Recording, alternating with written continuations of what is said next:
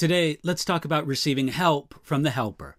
I'm going to read to you from John chapter 16, verse 7, where Jesus said these words Nevertheless, I tell you the truth, it is to your advantage that I go away.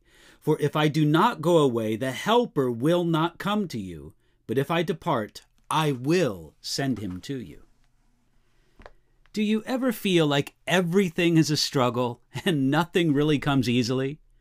Sometimes that's exactly how life feels.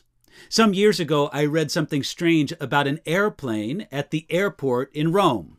Striking ground workers had refused to tow a British Airways jet from the terminal, so it couldn't take off. So, 15 passengers got out and pushed the plane back far enough so that it could start its engines and take off. That flight to London only lost one hour. Now, I, can't imagine an airplane trip like that, but it would be curious indeed to have to push something that was intended to carry you along. But so many of us feel like we have to push along our Christian lives when God intended our lives to be flying in the power of the Holy Spirit.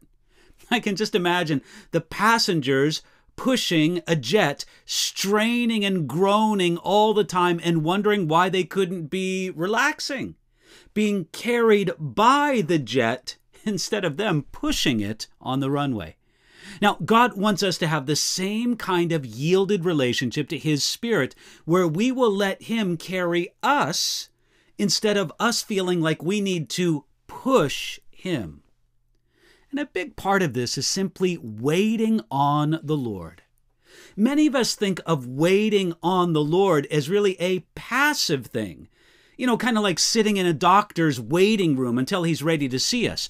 We figure that when God gets around to us, our name will be called. That's not the right way to think of waiting on the Lord at all. It's more like what a waiter does for a guest at a table patiently standing by, seeing if there's any way that he can serve or please the one he's waiting on. When we give our attention and our desire to serve the Lord in that way, he will guide us, and we won't have to feel that we're pushing him at all.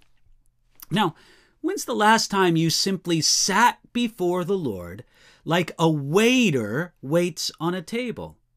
You're trying to see what he would have you do and showing you how you could please him. There is no better way to gain God's strength than to do that.